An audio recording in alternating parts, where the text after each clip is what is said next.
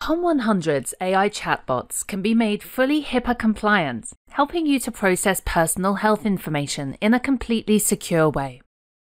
There are a range of scenarios where a chatbot could help to automate frequently asked questions and process common requests, especially in light of the COVID 19 outbreak. If you find yourself wishing that your staff didn't have to handle certain interaction types so they can better focus on the queries which are urgent right now, that means that those query types might be ideal for our chatbot to handle instead. Today, we'll show you how Chatbot can help you to handle visitation requests from a patient's family members. Our chatbot can use secure forms to help you process visitation requests, ensuring that you have all the information needed to make quick decisions. Information processed by our chatbot is stored on our secure HIPAA compliant servers. When someone fills in a form, you can have the information sent through to you via a webhook notifying you immediately when new replies are received.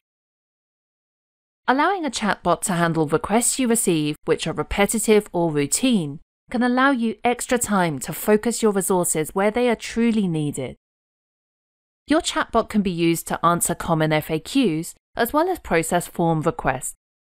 Many healthcare firms already have FAQs on their websites, and you can use your FAQs as a basis for building out your chatbot's responses. Of course, this is only one example of how a chatbot could help you.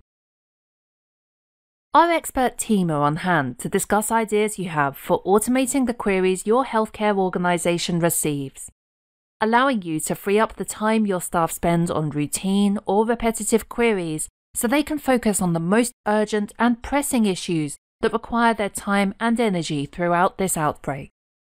Contact us today if you'd like to find out more. Thanks for watching.